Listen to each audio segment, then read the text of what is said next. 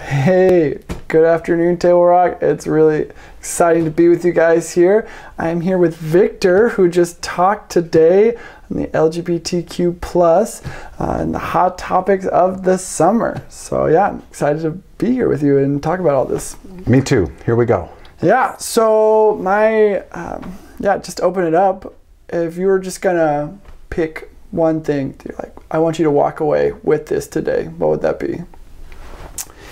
I uh, really like the, just the reality that it's God's house, God's rules.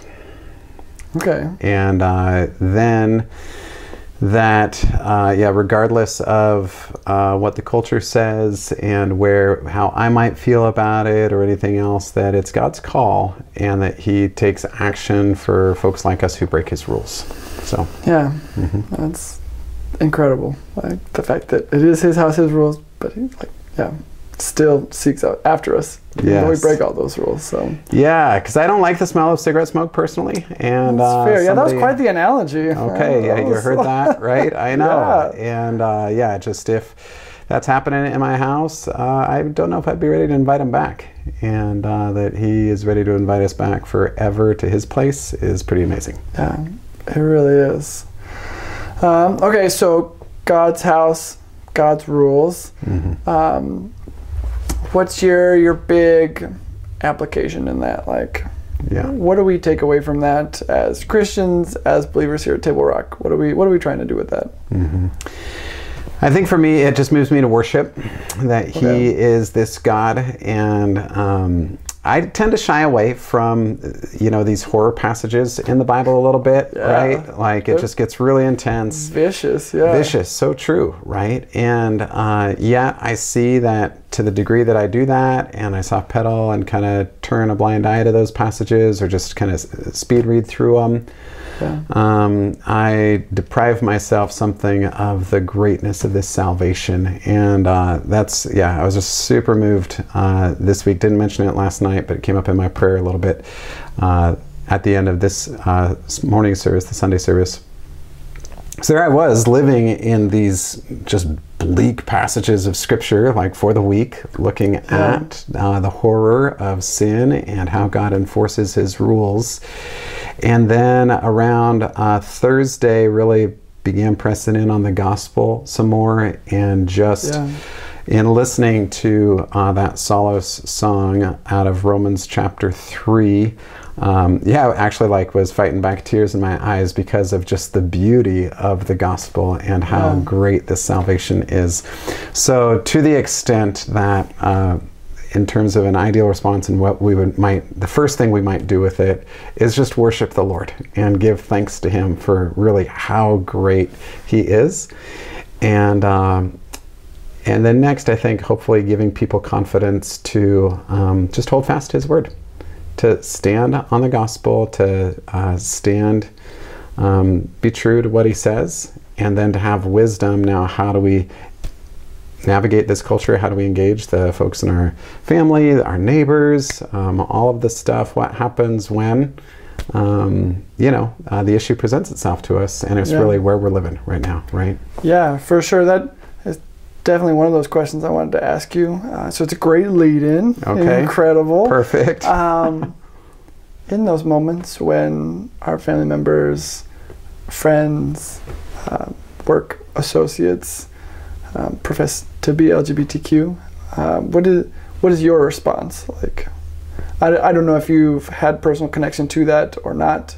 Yeah. Um, but it's hard. It is hard. Yeah, that's right. So my response, um, I remember being a little kid and um, my uh, mom had a friend that she invited over, and this friend brought her girlfriend. And I think it was the first time that I'd seen girls affectionate towards one another. So this would have been like late 70s, early 80s or something, yeah. a long time ago, and in a place far, far away. And um, that image, I mean, I still can see, you know, their affection basically. Um, and then uh, a bit more recently, um, we had an invitation, Jenny and I did, um, to a party in California. And um, uh, this family member of ours uh, has always treated us well, appreciate him, um, have been to his house, gone to, uh, anyway, and he is, uh, he- is, actually, he was a Methodist minister, married to a gal with kids, and then a number of years ago, um, divorced his wife and engaged a committed relationship with a man. And uh, so we have, that's been a part of our family story. And how do we interact with him, engage them? And I remember when we'd be there, uh, they would just show us hospitality, invited us to the parties, and you know, and so Yeah. we'd go and would look for an opportunity to just uh, love well and speak truthfully. And I remember going to a Christmas party at their house one time and just praying for opportunity to do those things. And uh, and the conversation turned without me doing it to Jesus. There was a Bart Ehrman book out at the time, misquoting Jesus, and uh, and we had a long conversation, probably over an hour, just about Jesus and the scriptures. That's awesome. And they were all stoked. They're like, "What are the chances that some expert on this book would?" I'm like, "I'm not an expert on the book, but you know that sort of a thing." Yeah. They were complimentary, and it did turn out to be just a good opportunity to love well and to speak the truth. Uh, but there was an engagement that. Um, and that's what we see is that Jesus is the friend of sinners. And when they invited him to his party, he would go, he would hang out, um, and to try to do that in a way that doesn't compromise. Well, a few years later, they um, had a party in California. It was scheduled for August, and we got like kind of a fancy invitation to it. They said, "You take care of the travel. We'll take care of everything else. This bit we've reserved a floor at this fancy hotel, and." You get here and everything else is taken care of, and it just looks a bit too formal. This is when Proposition 8 was in California, and uh, same-sex marriage was, you know, in all the headlines and everything. And I said to my wife, I think this is going to be a wedding. Like this party is, it looks like it's going to turn into a wedding. And so we decided, we had, our daughters were really young at that time, and we decided not to go to that wedding at that time.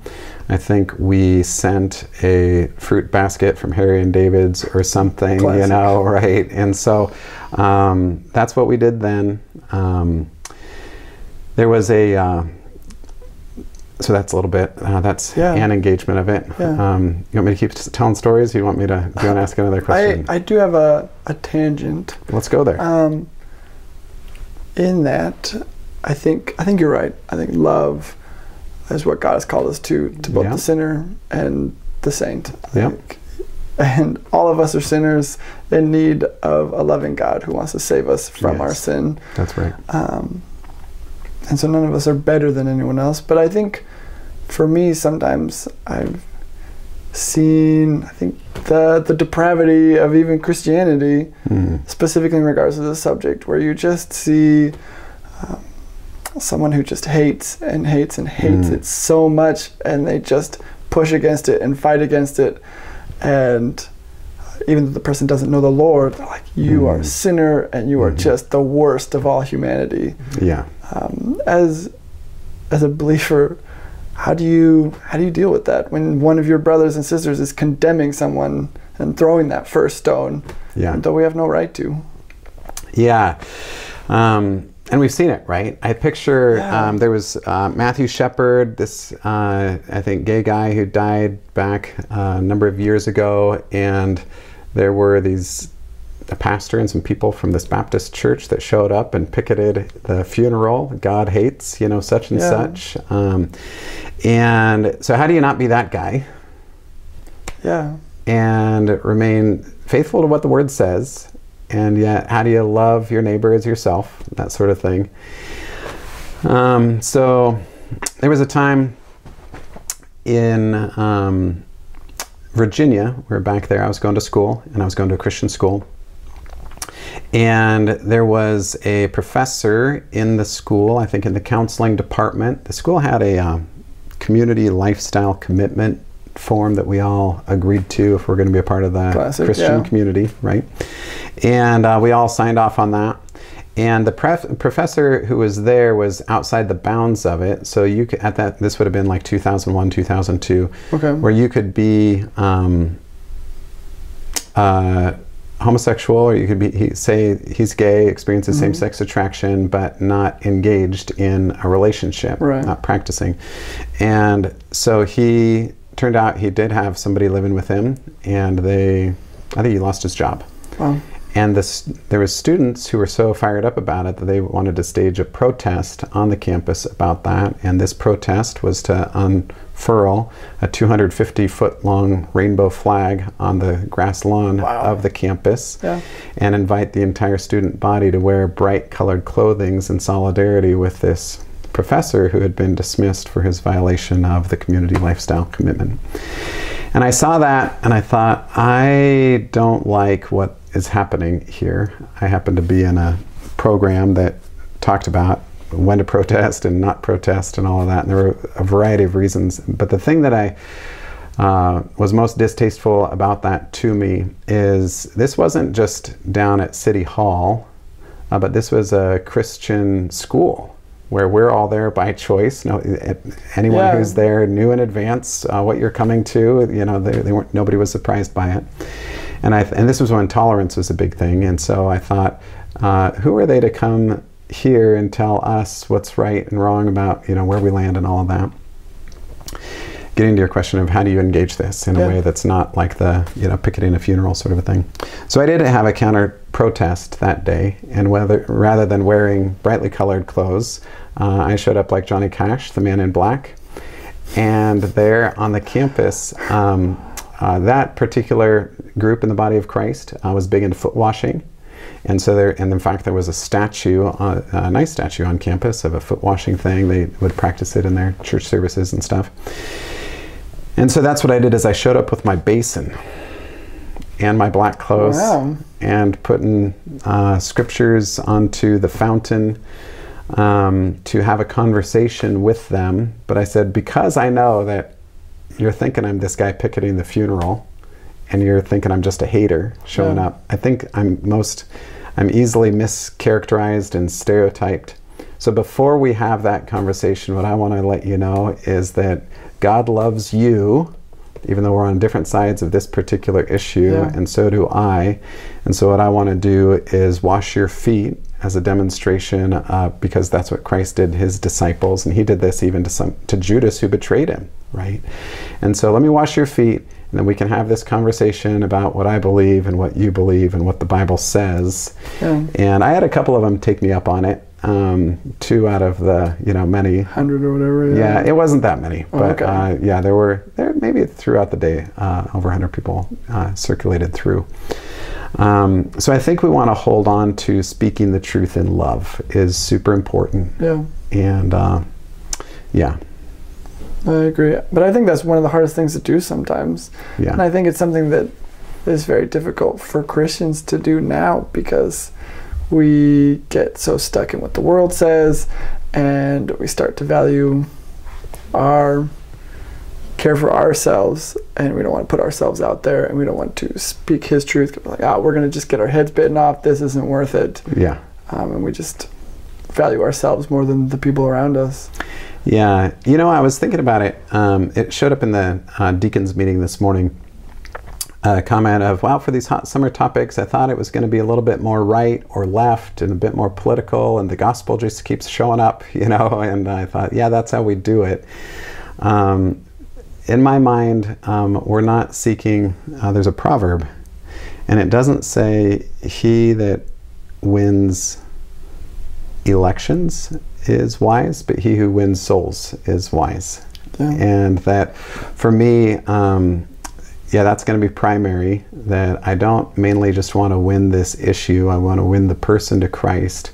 And what i've seen many times is that it's after somebody trusts christ right? That their views on things change and come into alignment with the lord and his word.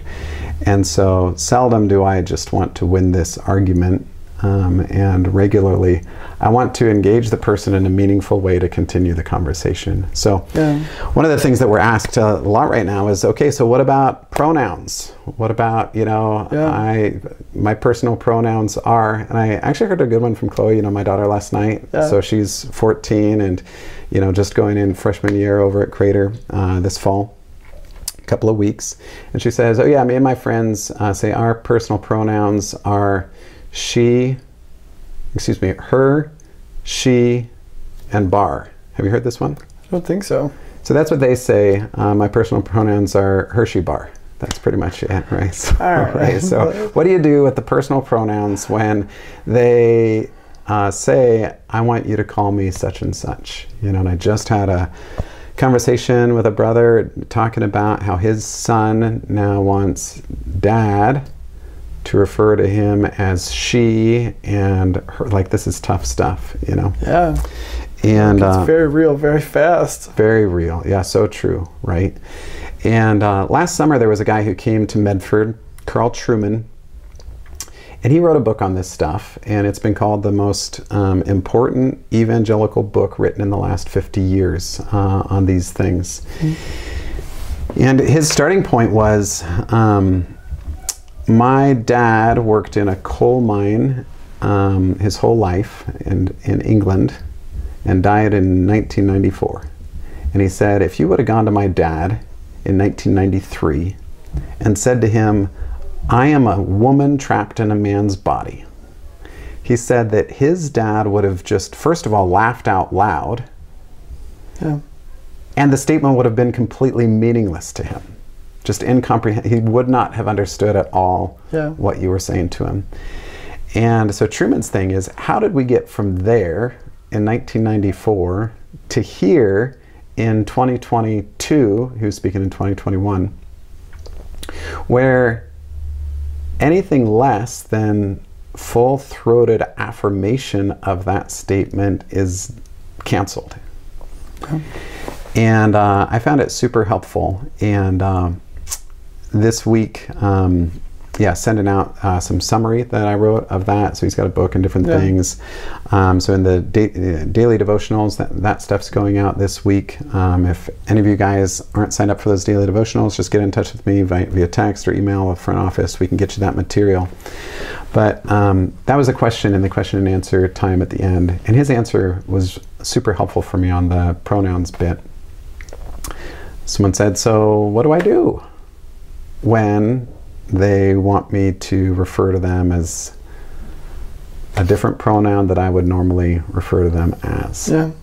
And his question was, uh, his point, his answer was I start out, um, and this is somebody maybe more than like the grocery store clerk, but somebody that you already kind of know. He says, and he says, if they stop talking to me, who are they going to start talking to? So if I, as a Christian and an ambassador that God has and His providence placed in their life, we have some kind of a relationship here, and then I do something to the conversation, take such a stand that we're not going to talk anymore. Who are they going to talk to? So his approach is this, where he says um, to the person, um, So I understand that you want me to refer to you as she. And um, I just want to let you know that uh, for me, like that's not something that I would normally do. But for the sake of uh, our conversation and our relationship, I'm willing to make this concession to you so that we can continue a conversation that and a relationship that I think is bigger than your personal pronouns. And I think not, that might not be for everybody, Right. but I found his answer to that question to be instructive, to be able to um, just basically, there's an elephant in the room here, and is this a hill that I need to die? Well, I'm getting all a mixed metaphor, but here's the elephant in the room, and let's talk about it first of all. Yeah. To say that uh, I'm not just making a concession uh, without talking about it so that you misunderstand what I'm doing Yeah. but I'm making a concession out of love for you and a, a reality that mm, there might become a point where we can talk about this more in depth later and I can let you know more of what I think and you know why it would be hard for me to do that. Um, now that's one thing if it's uh, you know your neighbor across the fence. Uh, I don't know what it's like to be the guy that I was having you know visiting with after the worship service today who it's your own son who's doing this. So I wouldn't presume to, you know, provide hard, fast instruction there. Yeah. You need the wisdom of Solomon in these things. Um, and uh, so, yeah. How about you, Jordan? What have you thought about these things? As far as which question? Um, whichever one you want to engage. There's a bunch of them out Perfect. there. Yeah. Yeah. Um, I think just in our conversations, I Yeah. I think one of my favorite things in these moments is like Jesus is always our our guide in these moments, and not that the LGBTQ community is the lepers or whatever, Right. but I think that Jesus shows his example to us in that it doesn't matter how unclean they are, it doesn't matter what their reputation is. Mm-hmm.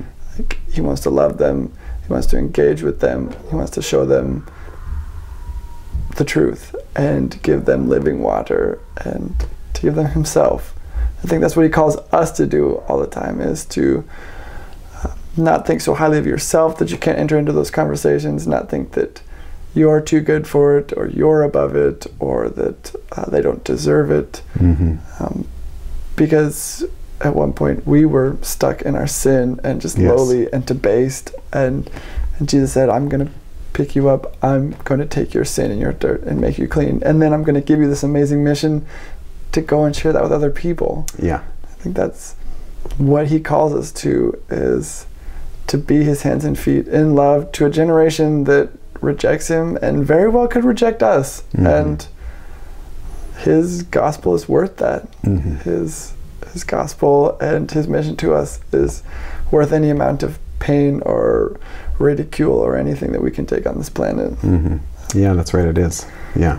And, and I, I don't know. I just I love that. I love that Jesus has shown us that example. and said, like, guys, I am the God of the universe. Mhm. I've stepped down in human flesh, and I'm hanging out with the people that no one else wants to to show you guys that I care about them and that you should care about them. Um, and in that same way, I think with us as humans, whether it's uh, the adulterer or the, the people that don't understand in the LGBTQ community or uh, the murderer or what Mhm. have you, like God calls us to seek them and, and to bring them to know Him. Yeah. Yeah, that's right. He does. You know, we got a call at the church office this week from a gal, and she said, um, So I am a lesbian and I am looking for a church.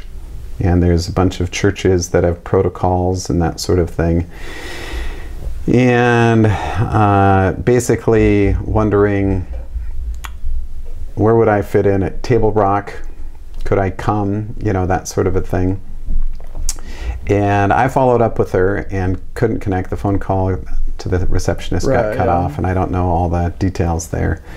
But um, if I was able to visit with her on the phone, I really like the uh, sign that we have here. Uh, it says, Welcome home. And in Romans, it says that we are to welcome uh, others as God in Christ has welcomed you. Yeah. And there's something, the way that God welcomed me um, in Christ, there weren't a lot of uh, things I needed to do to clean up my act before that happened. It was through simple faith in Christ. And for the worship services that we have, um, so I would have wanted to say, uh, do come.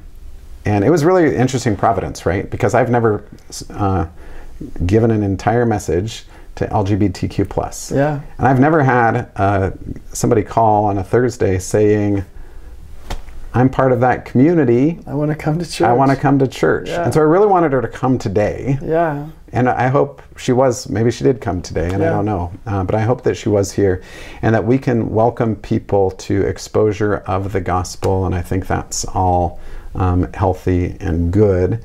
Um, and there does come a point, you know, in terms of people putting faith in Christ and uh, getting baptized, that uh, we won't be persisting in things that the Bible doesn't, uh, it tells us not to. We don't persist in our sin. And there is something uh, about the purity of the church and all that. So we want to hold on to both of those things. But in terms of how we function here at Table Rock Fellowship, um, worship services are open to everybody. Everybody's welcome. Yeah. Come. Let's. Uh, we're proclaiming the gospel, and people are getting saved, and it's a wonderful thing. You know. So um, Yeah, yeah. I, I I agree with that sentiment completely, and I think in that Jesus isn't trying to change our actions; he's trying to change our hearts, and he's Mhm. trying to bring us back to Him on a heart level. Uh, that's why he was okay with entering into all these homes of sin and depravity. Like, if, you know, he wanted to change their heart because he knew that in turn would change their actions and bring them to himself. Yes. He's not worried about the symptoms though. He's worried about the the disease. Yeah, the- that's right. The root of it. Yeah. Right. It's he's not just sticking little wax apples on us. Yeah. This fruit, right, on the outside, uh, Yeah. in. But so true, man. Yeah. If I needed to clean up my act before I came to Christ, it never would have happened. Hundred percent. Right. Yeah. And yet, um, I came in my the big fat mess that I was in, and he changed my life. Like, I mean, so so so much in like, ev- yeah. I mean, not that I've arrived or anything like that. I was gonna say it's not like we don't sin at this point or make mistakes, but Yeah, but thankfully, like yeah. it's my life looks so different than it did in 1997 yeah. when I was a hippie, hippie boy trusting Christ. My hair was a little bit longer than yours, Jordan. You'd be kind of jealous, right? My beard was never as long as yours, though. So um, you got me there. But uh, that, yeah, just that I would, um, yeah, and I'm super glad. Like that Sunday that I got saved, I'm super glad that I went, didn't go to church, and they said, whoa, whoa, whoa, whoa. Your kind can't come in these doors. You're going to need to cut that hair before you come across this threshold, right? There's a great old story from Calvary Chapel and Chuck Smith where the it was the Jesus People movement and the Calvary Chapel Costa Mesa had gotten new carpet in the sanctuary and the elders were a little bit concerned about these barefooted hippies. Like they're going to come in and make our carpet dirty. So we need to put up a sign on the door that says, you know, no shirt, no shoes, no service or something, right? You can't come in, in Yeah. here until you put some shoes or at least some sandals Right, on those uh, yeah. bare feet. And as the story goes, Chuck said, okay, you guys got to do what you got to do. And that Sunday, this time it was him with the basin. He showed up ready to wash the hippies' feet before they came in so that he wouldn't t- have to tell them, put on some shoes. Uh, I'm going to clean your feet because, you know, the elders want you to have clean feet before you come onto the carpet. They care about this, but we care about you. And I think it's just such a good posture for us as Christians to say, yep, we're here washing the feet of people with dirty feet. And Jesus loves people no matter how stinky your feet are. And he died to save us. And uh, yeah, Yeah. that's right where we want to be.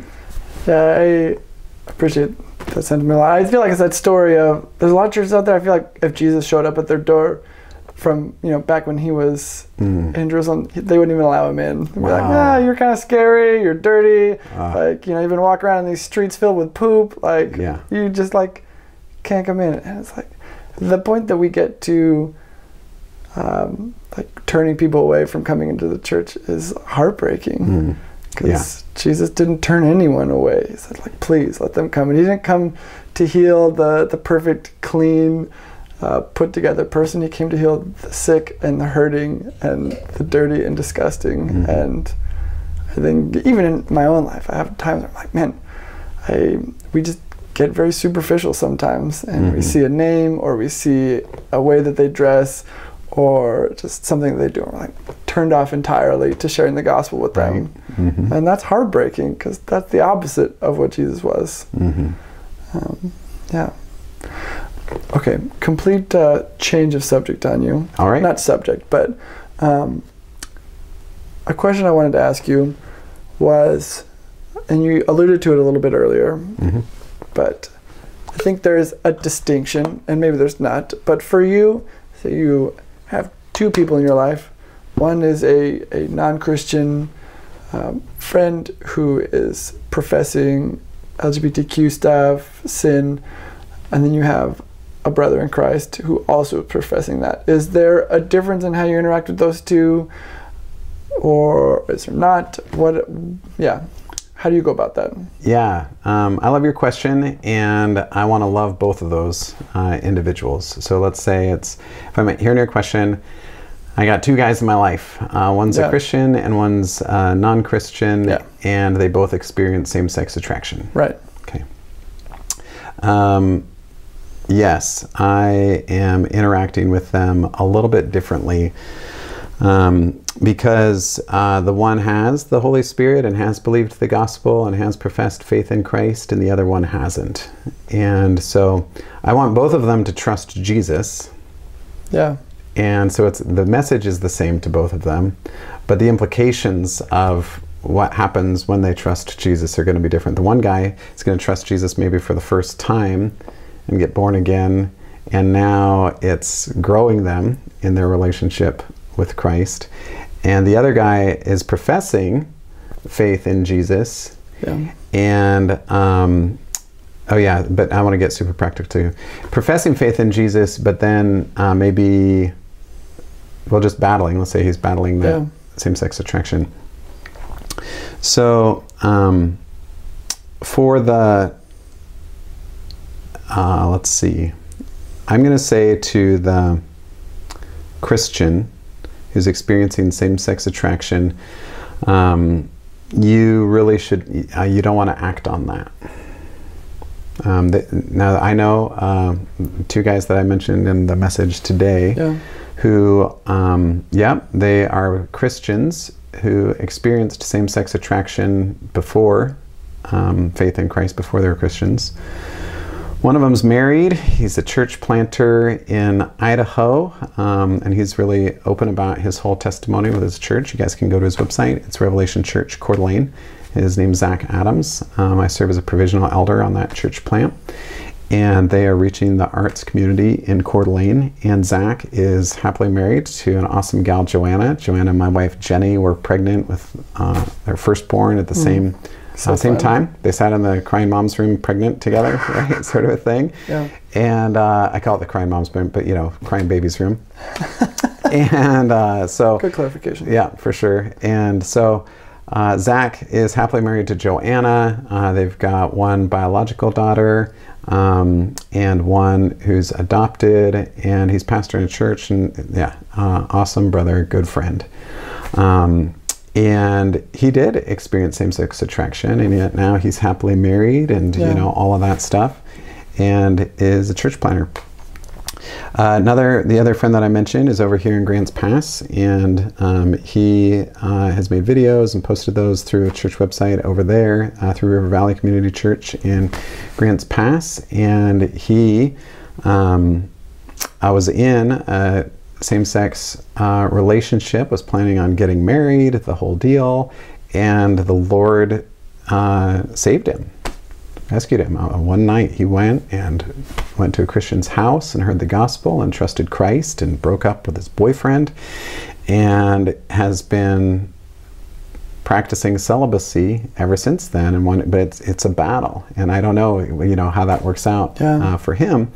Um, and uh, so for let's say for him and as i was discipling him uh, that's what i'm encouraging him in is like yep you don't want to practice same-sex behavior um, that there is uh, celibacy is an option in the christian life and perhaps um, god will change your desires so that you are attracted to a woman and maybe you'll get married but maybe he won't like that's a really hard thing right? That the kingdom of God is already and not yet. It's already consummated, excuse me, already inaugurated, not yet consummated. Yeah. Sometimes God does heal us of cancer. Sometimes He does uh, give us victory over temptation in ways that we're not tempted by it anymore. Um, but other times He doesn't. Sometimes that He doesn't heal us of the cancer. Yeah. And uh, John Newton, you know, he wrote Amazing Grace, and uh, he was frustrated in his 80s that he was still struggling with um, lust that he battled in his 20s.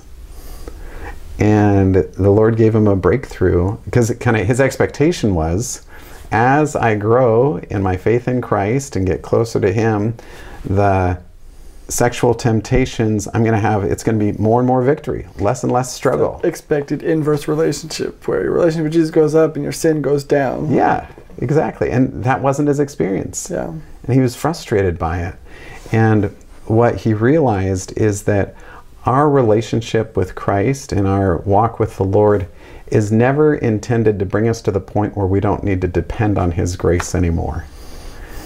And that there is something, God is glorified in the way that he gives us grace to persevere through all of the struggle. So that, um, you know, Job is given grace to praise him all, you know, not without struggle, not without some griping and complaining, but never cursing God. And so that God is glorified um, in the struggle as we continue to, to praise him. And so for uh, my friend in Grants Pass, I'd say to him, um, I don't know what that's going to be like for you. Kingdom is inaugurated, praise God. Yeah. Um, and you're responding well by, you know, you did break off that relationship that you would be tempted to sin in. Um, but I, I don't want to overpromise you and say that you're never going to struggle with that again. And I know for a fact, just in talking with him, it continues to be a struggle.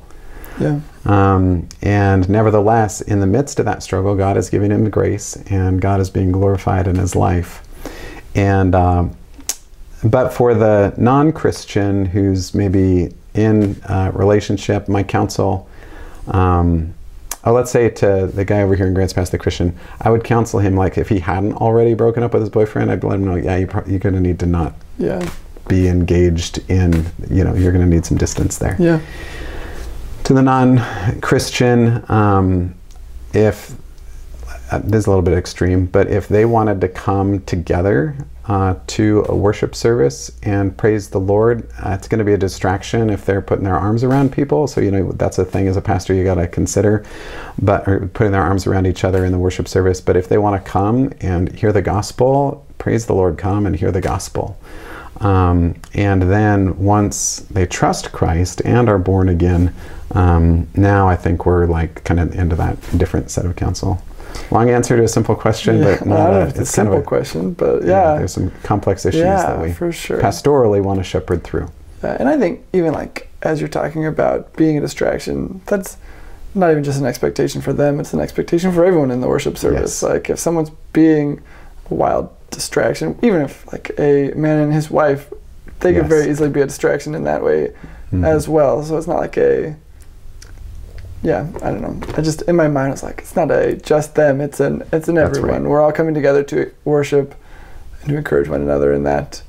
Kind of like your house, your rules. Like if you come into someone else's house, like you're gonna Yeah. hold to a certain expectation. expectation. Yeah. yeah.